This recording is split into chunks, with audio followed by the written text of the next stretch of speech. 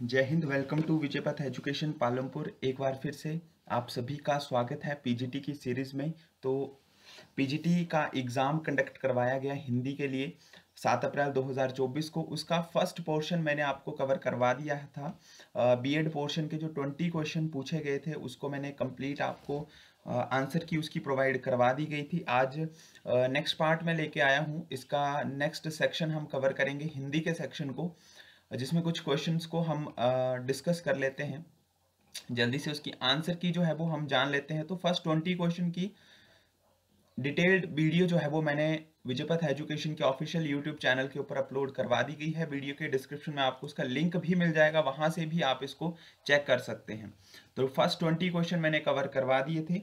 अब next questions को जो है वो हम डिस्कस कर रहे हैं। क्वेश्चन नंबर ट्वेंटी वन से। जो है वो इसकी स्टार्टिंग की जा रही है। ट्वेंटी वन जो है, उसमें पूछा गया था क्वेश्चन नई समीक्षा ने अपनी समीक्षा के केंद्र में क्या रखा था? तो इसका राइट आंसर रहेगा ऑप्शन नंबर बी कृति को। ऑप्शन बी इसका सही आंसर है। नेक्स्ट ट्वेंटी टू क्वेश्चन है, रस चर्चा के अंतर्गत नवा रस कौन सा है? तो शांत जो है वो इसका राइट आंसर रहेगा ऑप्शन नंबर सी लड़के ट्वेंटी थ्री क्वेश्चन है। लड़के उस कुछ उससे कुछ खिंचे खिंचे से रहते थे। तो किसके लिए? आ, किसी की माँ ने किसी की नानी किसी की बुआ ने आदि ने घीसा से दूर रहने की नितांत आवश्यकता उन्हें कान पकड़कर समझा दी थी। तो इसमें मुख्य संकेत क्या बताया गया था? तो इसमें मुख्य संकेत ऑप्शन डी था पिताजी की मृत्यु के बाद एक वर्ष बाद घीसा के पैदा होने के अपवाद का तो उसको जो है वो थोड़ा गलत माना जाता था। ऑप्शन डी इसका सही आंसर है। नेक्स्ट क्वेश्चन ट्वेंटी फोर काफ़ी मोटिवेशन से क्वेश्चन पूछा गया है दशरथ मांझी के जीवन का आधारित उपन्यास क्या है? उन्होंने पहाड़ को खोद के जो है वो, आपको, आपने उनकी स्टोरी जो है वो सुनी होगी यूट्यूब के ऊपर भी। काफ़ी ट्रेंडिंग पे रहती है। मोटिवेशन के लिए इनका एग्ज़ाम्पल दिया जाता है कि जब इनकी वाइफ जो है, वो बीमार थी तो वो हॉस्पिटल नहीं ले जा पाए थे तो उन्होंने जीवन में एक प्रण लिया था कि मैं इस पहाड़ को खोद के जो है, वो रास्ता बनाऊँगा। तो बिहार के रहने वाले हैं दशरथ मांझी पहाड़ को खोद कर इन्होंने रास्ता बनाया था। नेक्स्ट ट्वेंटी क्वेश्चन है। इसमें कविता संग्रह केदारनाथ सिंह जी के हैं। कौन से कविता संग्रह केदारनाथ सिंह जी के हैं? तो इसका right answer option number C रहेगा। यहाँ से देखो, सृष्टि पर पहरा साइकिल अकाल में सारस तालस्ताए ऑप्शन सी इसका बिल्कुल सही आंसर रहेगा। नेक्स्ट ट्वेंटी सिक्स क्वेश्चन बर्तनी की दृष्टि से गलत है।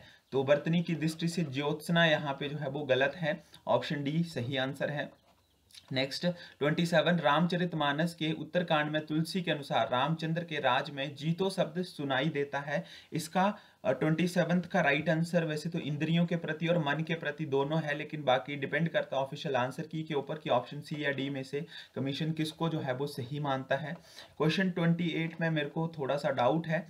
आ, यहाँ पे थोड़ा सा क्वेश्चन में डाउट लग रहा है। अगर आपको इसका राइट आंसर पता तो ज़रूर आप कमेंट कीजिएगा। Next question number twenty nine Bharat Muni के रस सूत्रों के व्याख्यानकारों में किसने भाव्यकत्व व्यापार की परिकल्पना की थी? तो ट्वेंटी नाइन्थ का बी आंसर है भटनायक, इसका बिल्कुल राइट आंसर रहेगा। नेक्स्ट इजी क्वेश्चन था फूक फूक कर कदम रखना। देखिए पेपर टू थोड़ा सा इजी था। पेपर वन में जो है वो काफ़ी हाई लेवल के क्वेश्चन यहाँ पे मैं मान सकता हूँ। टाइम के अकॉर्डिंग मैनेज करना थोड़ा सा मुश्किल हो जाता है। लेकिन जिसने स्प्लिट मेथड ऑप्शंस को हटाने का अगर काम किया ड्यू टू ऑप्शन से अगर उसने सही आंसर निकाला तो फिर तो उसकी बल्ले बल्ले हो गई है तो फूक फूक पर कदम रखना इसका जो राइट आंसर रहेगा थर्टी का वो ऑप्शन नंबर सी है, सोच समझ कर कदम रखना, उसे कहा जाता है फूक फूक पर कदम रखना।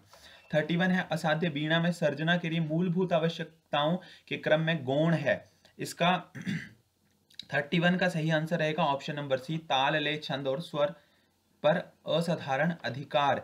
अगला प्रश्न थर्टी टू रामचंद्र शुक्ल ने हिंदी साहित्य का इतिहास में हिंदी की पहली कहानी के निर्धारण हेतु किस पत्रिका में प्रकाशित कहानियों को चुना था? इसका राइट आंसर रहेगा सरस्वती ऑप्शन नंबर बी अगला प्रश्न है थर्टी थ्री कौन सा जीवन जीवनी कार युगम सही है? युगम के बारे में, अब इसमें स्टेटमेंट वाले क्वेश्चन थोड़े से कम थे।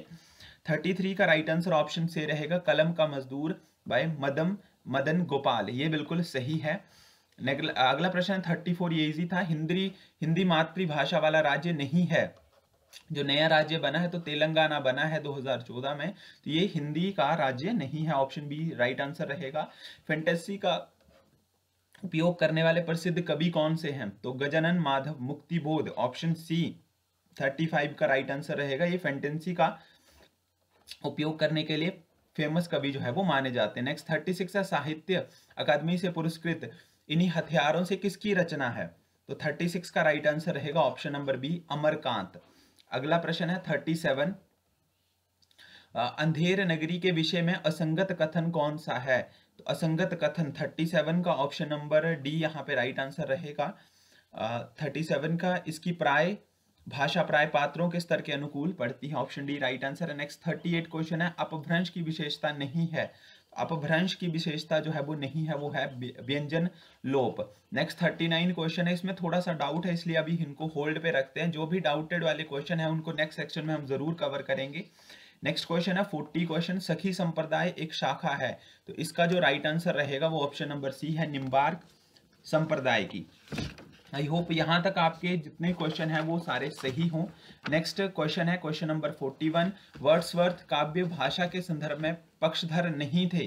तो इसका जो राइट आंसर रहेगा, वो ऑप्शन ए है, अभिजात वर्ग की भाषा का। ऑप्शन ए बिल्कुल सही आंसर है। नेक्स्ट फोर्टी टू क्वेश्चन है, वाक्य में वर्तमान कालिक कृदंत के अतिशता का प्रकाशन होता है। देखिए, यहाँ पे थोड़ा सा डाउट मेरे को लग रहा है इस क्वेश्चन में। तो इसको भी हम नेक्स्ट सेक्शन में ज़रूर कवर करेंगे। थोड़े से बेसिक टू हाई लेवल के क्वेश्चन भी पूछे गए थे तो उनके, थोड़ी उनकी आंसर की को क्लैरिफाई करने के लिए यहाँ पे हमें भी थोड़ा सा टाइम लगता है। बाकी डिपेंड करता है इसकी ऑफिशियल आंसर की के ऊपर, लेकिन जो डाउट वाले क्वेश्चन उनको आप ज़रूर होल्ड करके रखिए।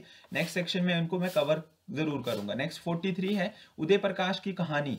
कौन सी है? तो पीली छतरी वाली लड़की। ये सारा एनसीआरटी के बुक से ही आपको पूछा गया 44 मृत व्यक्ति के लिए अनुप्रयुक्त शब्द क्या है?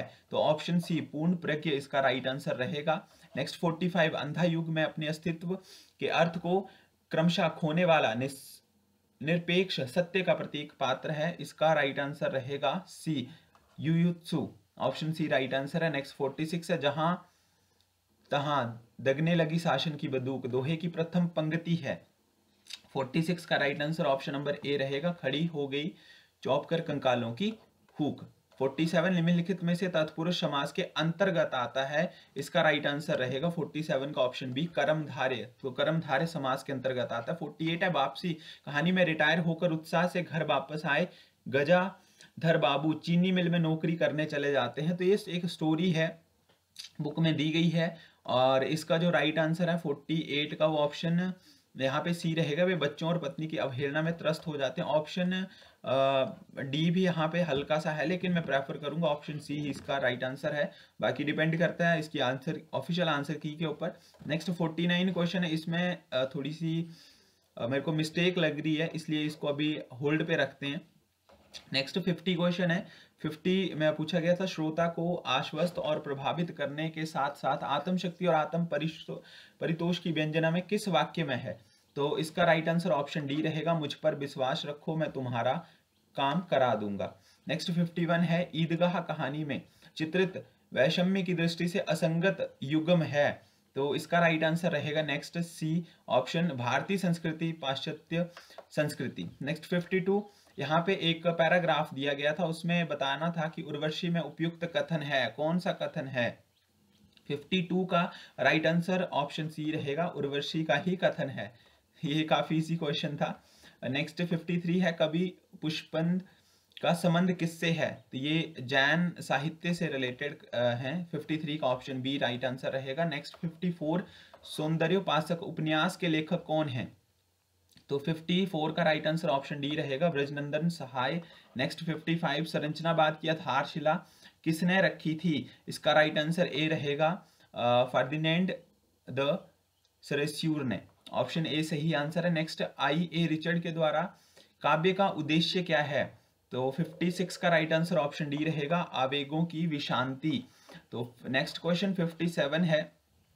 मैं राजभवनों से डरती हूँ क्योंकि उनके लोभ से मनुष्य आजीवन मानसिक कारावास भोगता है। ये अलका का संवाद किस चीज़ को शो करता है? 57 का ऑप्शन बी रहेगा, पर्वतेश्वर के प्रति व्यंग्य। नेक्स्ट है 58 मल्लिका के भीतर की टूटन के लिए खुद को जिम्मेदार किसके द्वारा माना गया था? कालिदास के द्वारा माना गया था। ऑप्शन ए इसका सही आंसर है। 59 कामिनी के श्रद्धा को देखते हुए मनु को वह लगती है। क्या लगती है?